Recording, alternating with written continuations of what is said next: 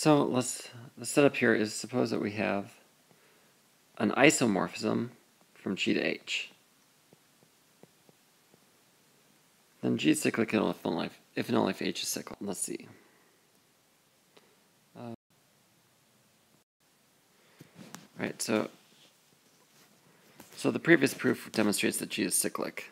So what really happens, uh, I should run through this proof again just in case you didn't see that video.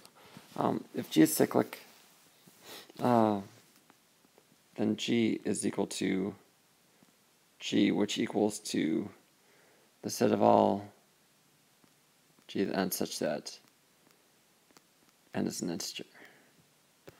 Like so. Well, then, um, what we're using here is phi of g to the n equals phi of g to the n. So because, uh, so I can say let h belong to h. Uh, since phi is onto, there is an x belong to g with phi of x equal h.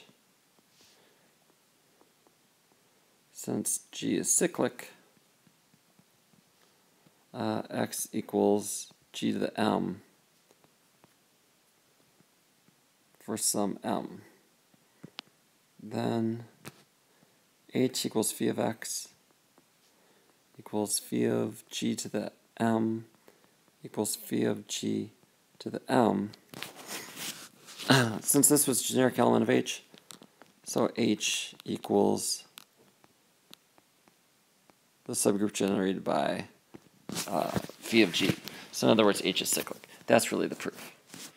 So, but then uh, we also have that the inverse is an isomorphism, so you can play the same result with uh, h. That gives you the result. All right, thanks.